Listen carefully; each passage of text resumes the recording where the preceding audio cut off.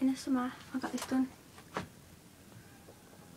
And then last summer when I was 13, I'm 14 now, last my auntie paid for it and it's a tenner.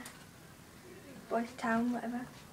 And then last year I got my joint and she paid 20 quid for it. Uh, but she didn't, she couldn't take me at that point. But she took me this, she took me this time. It was me and her. She went to take me. She had to pretend she was my mum there, obviously. And this is, I've got new belly bars and this is it. It glows in the dark, like when you do this, it's like it's a bit luminous. Then my sister's cat. In my mum's room. Then my room's pretty. This one's this one's the biggest, mine's the prettiest. My brother's it's the most it's the second biggest and his four. So like this is what I'm wearing. Add me on BB jokes. Hmm.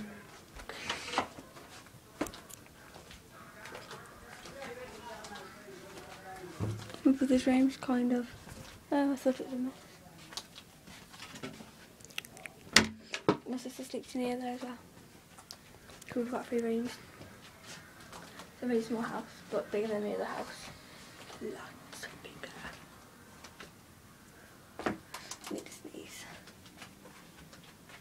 My school bag with my stuff inside. I've got homework, but I'm in year 10. Started year 10. Look. This. My school black uniform. Because from year 7 to year 9 is blue.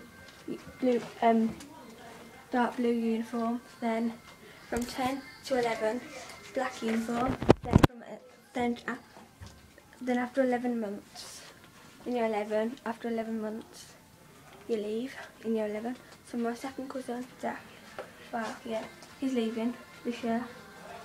Lucky! Don't like my school because this teacher always follows me around and it's like, ew. Then in ICT, me, Demi and Tiffany were messing around because we had like this pedo for uh, our ICT lesson. Rihanna's on. I'm gonna go there. I look really dopey and my teeth, I need braces.